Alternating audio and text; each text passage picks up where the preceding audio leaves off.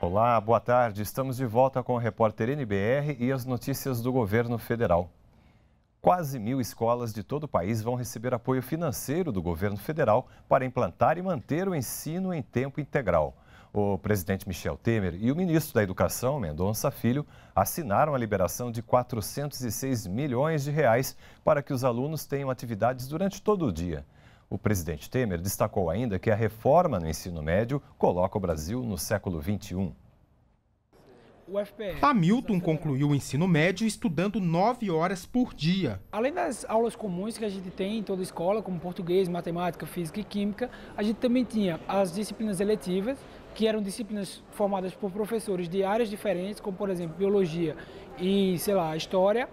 Eles criavam uma disciplina unindo esses dois, essas duas áreas e aí vários professores criavam essas disciplinas para a gente se inscrever e assistir. A escola em tempo integral possibilitou a Bárbara obter sucesso no prosseguimento dos estudos. Após a conclusão do ensino médio, a partir do projeto de vida que eu estabeleci para os próximos anos, é, eu obtive êxito na aprovação nos vestibulares em que é, me candidatei. Eu consegui ser aprovada na Universidade Federal de Pernambuco para o curso de Ciências Econômicas e consegui aprovação na Universidade de Pernambuco para o curso de administração. A Abigail vê no ensino integral uma escola mais voltada para os interesses dos jovens. A oportunidade de estudar na escola como de tempo integral, ela não é só tempo integral como horas, e sim como tempo integral de sentido e significado. Você começa a entender mais sobre o que é que você quer ser quando crescer daqui a cinco, daqui a dois anos e, e sai da escola de tempo integral preparado, seja para o mercado de trabalho, seja para a universidade.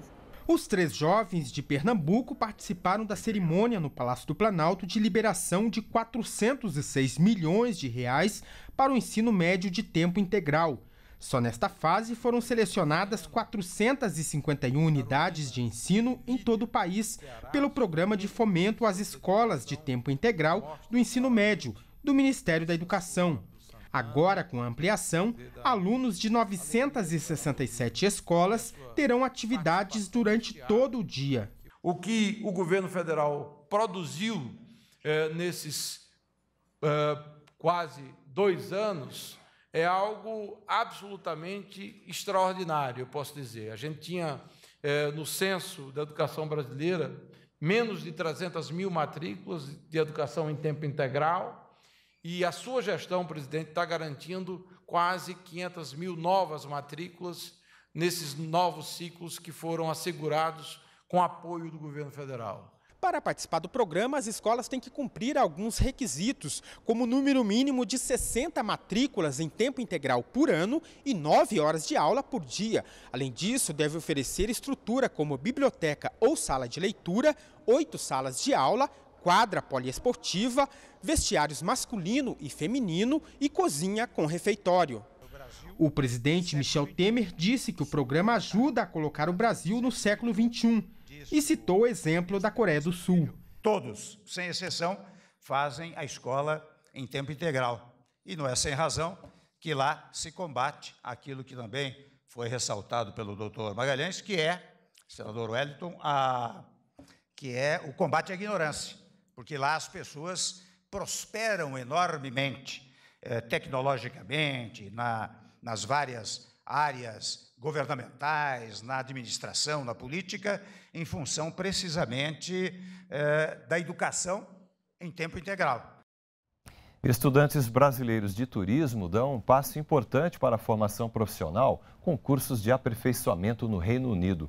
São 102 estudantes que participam do Programa de Qualificação Internacional, iniciativa totalmente financiada pelo Ministério do Turismo.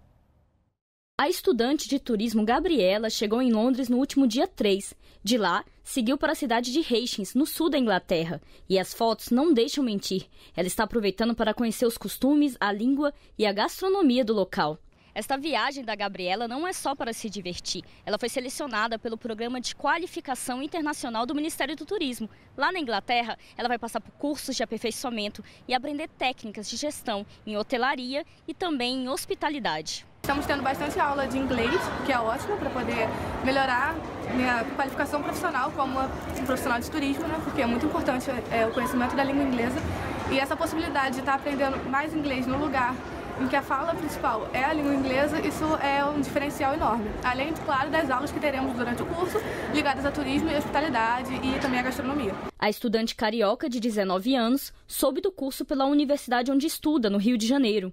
Ela vai ficar três meses imersa na cultura britânica. Sempre foi um sonho meu poder participar e fazer um intercâmbio de estudos, uma experiência maravilhosa e que eu tenho certeza que vai ser de suma importância para a minha vida profissional e acadêmica. Para participar, os selecionados tiveram que tirar nota superior a 600 pontos no Enem e comprovar que falam inglês. Eles também passaram por uma análise de currículo. Apenas os candidatos brasileiros que cursaram entre 20 e 80% do curso puderam participar do projeto. O programa é uma das ações do Plano Brasil Mais Turismo. O país fez uma parceria com 10 instituições de ensino superior no Reino Unido e custeou gastos como alojamento, passagens aéreas e as taxas escolares dos estudantes. Vivemos em um país com os melhores atrativos naturais do planeta, rico em cores, ritmos e sabores tudo o que eles precisam está pago. Além disso, o Ministério do Turismo ofereceu uma bolsa mensal para cada um deles uh, durante seu período de estadia. O retorno para o país é muito grande. A gente vai ter profissionais mais qualificados, eles são uh, difusores de informações aqui no nosso país, ou seja, é uma sementinha plantada que pode se distribuir por todo o restante do país. E olha, esse mesmo projeto do Ministério do Turismo que a gente viu aí na reportagem já levou outros estudantes para Portugal e Espanha. O governo estuda abrir novos editais para selecionar mais estudantes de turismo. Você pode acompanhar a abertura de novas oportunidades no site pqi.turismo.gov.br.